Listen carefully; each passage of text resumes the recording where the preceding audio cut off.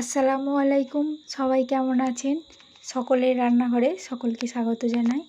আজকে আমি একটি স্ন্যাক্স বানাবো, যেটি হলো কচুর স্ন্যাক্স। এটি খুবই টেস্টি খেতে হয়েছিল। প্রথমে আমি কচু নিয়ে লম্বা আকারে কেটে লবণ আর হলুদ দিয়ে সিদ্ধ করে নিয়েছি। এবার আমি আগের ভিডিওতে যে স্ন্যাক্স মশলাটা শিখিয়েছিলাম, সেটা দিয়ে দিলাম।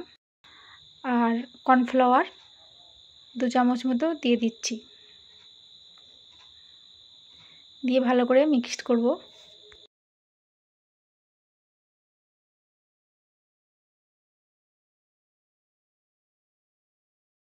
এবার আমি এটির মধ্যে এক প্যাকেট জলজিরা দিয়ে দিচ্ছি। সাধারণত দোকানে কিনতে পাওয়া যায়।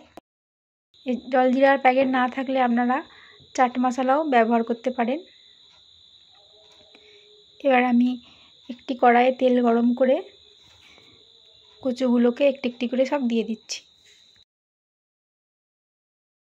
যেহেতু কচু আগে থেকে লবণ আর হলুদ দিয়ে সিদ্ধ আছে, সেজন্য আমি আঁচ জোরে রাখব।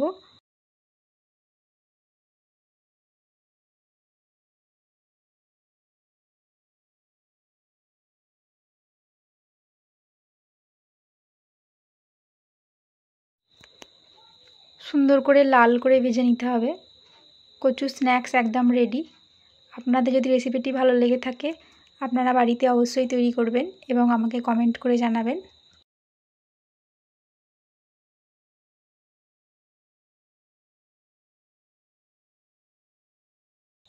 আমার চ্যানেলটি সাবস্ক্রাইব করবেন লাইক করবেন শেয়ার করবেন। ভালো থাকবেন, সুস্থ থাকবেন। ধন্যবাদ।